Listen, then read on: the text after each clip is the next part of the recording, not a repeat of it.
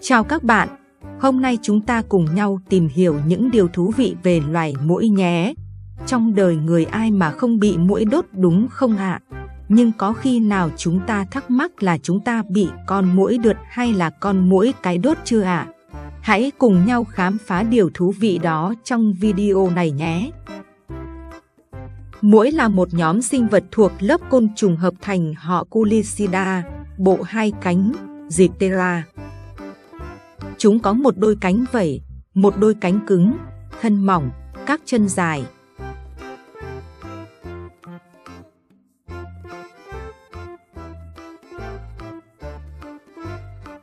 Muỗi được hút nhựa cây và hoa quả để sống, muỗi cái hút thêm máu người và động vật. Vậy cho nên con muỗi hút máu chúng ta hàng ngày là con muỗi cái nhé. Kích thước thay đổi theo loài, nhưng ít khi lớn hơn vài mm. Đa số có trọng lượng khoảng 2 đến 2,5 mg.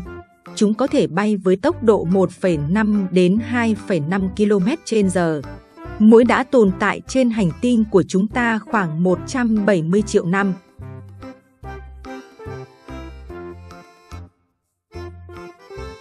Muỗi cũng có nhiều loài, mỗi loài có phương thức sống qua mùa đông khác nhau. Có loài tồn tại trong mùa đông dưới dạng trứng, đến mùa xuân mới nở thành ấu trùng.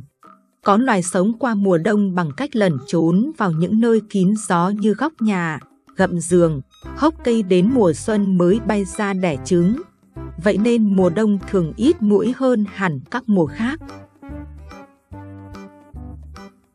Cũng có loài muỗi sống qua mùa đông dưới dạng bọ gậy. Chúng có thể sống dưới đáy hồ đóng băng, đợi mùa xuân đến mới phát triển và lột xác thành muỗi.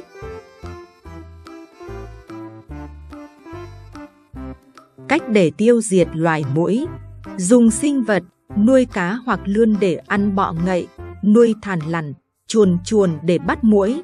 Ngoài ra có thể sử dụng mê sóc y để diệt lăng quăng.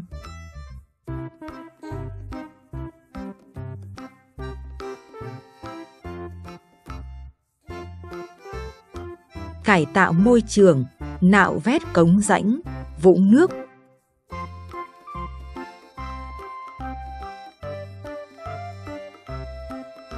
Phát quang bụi rậm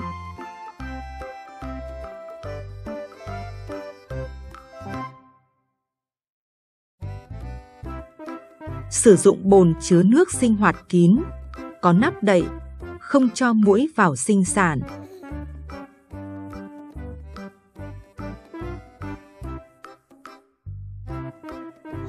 Dọn dẹp nhà cửa cũng là cách hạn chế muỗi sinh sôi.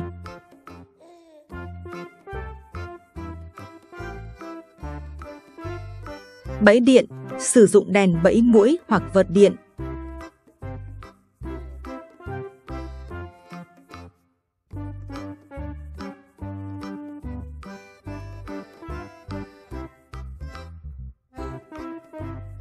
Dùng hóa chất dùng thuốc xịt hoặc hương xua mũi. Tuy nhiên, sử dụng hóa chất là giải pháp cuối cùng bạn nên sử dụng vì nó vẫn để lại một tác hại cho con người. Cảm ơn các bạn đã xem hết video. Nhớ like, subscribe kênh để nhận được thông báo video mới nhất nhé. Chào thân ái và hẹn gặp lại.